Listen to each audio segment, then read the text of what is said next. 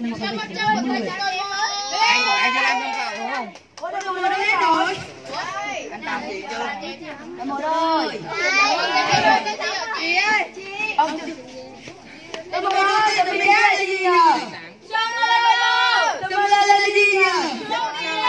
Đó tên là Milo Summer.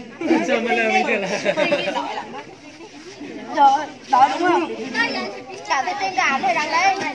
Đó. Trình thôi Nói trình là tí là mình chấm nè Thôi thôi em nói trước nha thôi dàn thuyết trình là năm Năm phút là Năm phút là nhiều quá rồi Năm phút là nhiều quá rồi. Rồi tay mơ đồ ăn luôn Ủa, Đây là quả. À, hôm nay à, đội SML Studio xin được thuyết trình về tất cả các món ăn của ngày hôm nay. Đầu tiên là món heo vàng bay với sự kết hợp giữa thịt heo, dứa và trang trí bởi hoa ớt, à, hành thì đã kết hợp ra được một món heo vàng bay với màu sắc rất là hấp dẫn.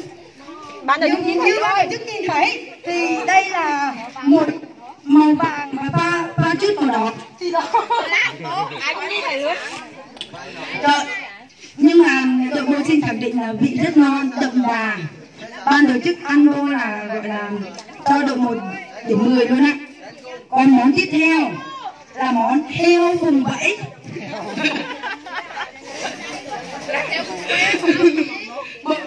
Với sự kết hợp của thịt heo và dưa cải muối đã tạo nên một món ăn đậm đà và thêm vị chua chua và, và mặn mà của miền Trung quê ta. À, có có vị chua có vị chua mặn và đậm đà đúng không? Miền trung đậm đà được chưa? Món này món này cũng đậm đa thôi đúng không? Hai. nói chung là đội một một theo phong cách miền trung là món nào cũng đậm đà. Đậm đà chứ không có mặn nha. Mắc mặn luôn. Không có mặn. Đội này thiếu muối lắm. Đội đội này nhà năm không có mặn đâu. Yên tâm. Còn món món tiếp theo món tiếp theo là món heo lúc lắc. Là heo lúc lắc với sự kết hợp của thịt heo à, thịt này người ta gọi là thịt ba chỉ của đội này giàu mà ăn thịt heo chứ đâu có ăn đậu hũ như các đội khác đâu. Không tặng tạp chí em mua đảm bảo an toàn vệ sinh thực phẩm. Với, với sự kết hợp với thịt, thịt heo và măng xào lại với hành tỏi ớt thì đã tạo ra một món ăn với dư vị rất là thơm ngon. Thơm rất là thơm ăn vô sẽ có vị uh, chua chua uh, mặn mặn măng và thịt. Em ăn chưa? em ăn rồi. Đảm bảo là Ăn trước cả ba tổ ngon. chức ăn trước ba giám khảo là không được đâu nha. Nấu ăn là phải thử đúng không mọi người? Mà cũng mà. Và món cuối cùng là món tráng miệng của team SML Sửng Hiêu món này tên là Phượng Hoàng Lửa.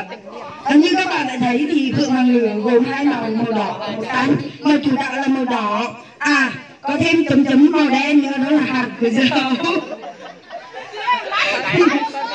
À đúng rồi. Như mọi người đã thấy thì Phượng Hoàng là có cánh tay. Đây là cánh của Phượng Hoàng. Đảm bảo với mọi người là Phượng Hoàng rất là mọng nước ngọt. Đảm bảo ăn một miếng là nhớ một đời. À, phần thuyết trình của team SML Sữa Milo đến là kết thúc mong ban giám khảo chấm điểm ờ, cao cho sự video nha. Đi mọi người mọi người.